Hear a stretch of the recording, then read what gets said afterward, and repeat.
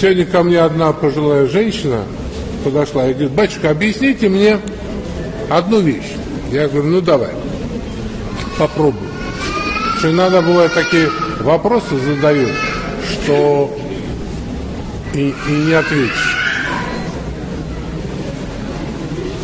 Вот я, говорит, как, ну она уже пожилая, говорит, когда мне нужен фран, я поднимаю руку, останавливается машина, и меня везут.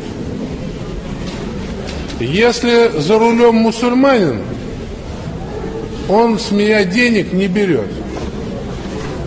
Говорит, ну не может сын брать деньги с матери, тем более, когда она едет молиться. А если останавливается русский, крещеный, то он говорит, это моя работа, и берет деньги.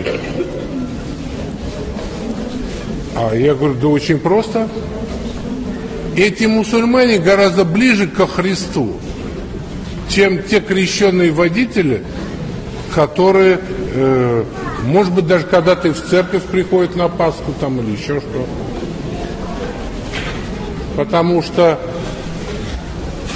в них нет ни милостыни, ни жалости, ни милосердия. Вместо того, чтобы уцепиться за бабушку и сказать, а дай я тебе еще покатаю, давай я тебя и в прачечную свожу, и за квитанцию заплачу, давай я тебя в магазин свожу, и сумки отнесу на твой этаж. А если у тебя там лифт, ну, до лифта. Потому что это есть угодно Богу. И вот так интересно. То, что угодно Богу, современный мусульманин знает. А то, что угодно Богу, современный крещеный не знает. И кто же ближе к Богу? Поэтому будущее за этими мусульманами. За ними будущее.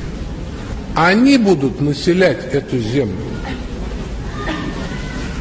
потому что современным крещенным это все не нужно. Они и горячие, они и посты соблюдают. Когда их праздник, люди боятся даже в этот квартал заходить, потому что десятки тысяч молодых мужчин стоят на коленях и молятся Богу. Где вы видели столько православных мужиков? Нигде и никогда только одни бабы.